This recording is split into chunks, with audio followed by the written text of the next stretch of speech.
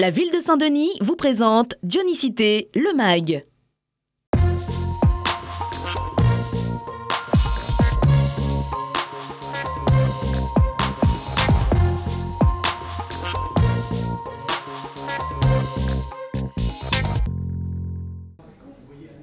Floriane est dionysienne et à 14 ans, elle vient avec sa mère faire les formalités pour obtenir son titre de transport gratuit, ce qui lui permettra de se déplacer librement sur tout le territoire de Saint-Denis. Le dispositif a démarré il y a un an. La gratuité des transports en commun, c'est un engagement et c'est pour cela que nous avons mis en place en 2015 ce dispositif pour les 15 à 18 ans.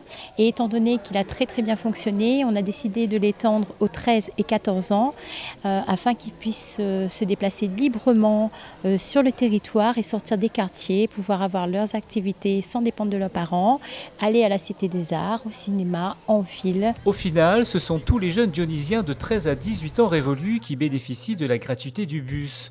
Un avantage important. Pour l'école, c'est mieux. Quand je commence tôt et je termine tard, c'est pas.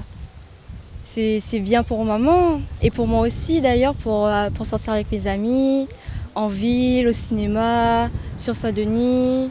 Ben, je pense aussi que c'est une forme de liberté. Je fais 70 euros d'économie sur mon argent de poche et c'est plus pratique vu euh, que L'abonnement est renouvelable, c'est facilement.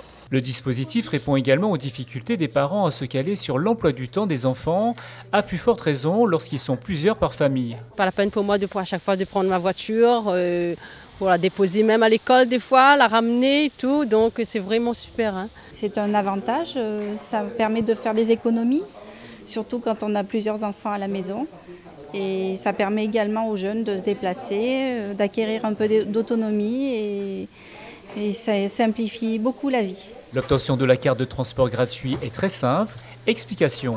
Pour bénéficier de la gratuité des transports, rien de plus simple. Il suffit de se rendre en mairie annexe, à l'hôtel de ville ou à la direction jeunesse, ou tout simplement d'accéder au site saint-denis.re pour télécharger un formulaire de demande qui permettra aux jeunes de se rendre dans sa mairie avec les pièces justificatives pour récupérer un bon de gratuité.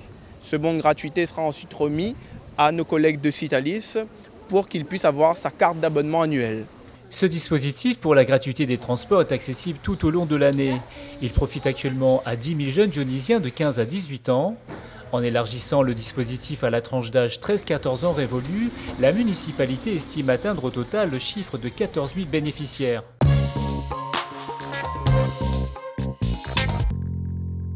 Samedi 10 septembre, ce sera la fête des îles de la Lune. Pour cette troisième édition, les communautés de l'archipel des Comores vous convient à découvrir les traditions de leur pays.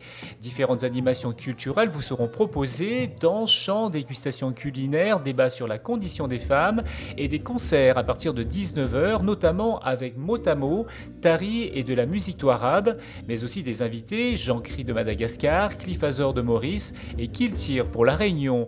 Ce sera sur le Square La Bourdonnais de 14 14h à minuit.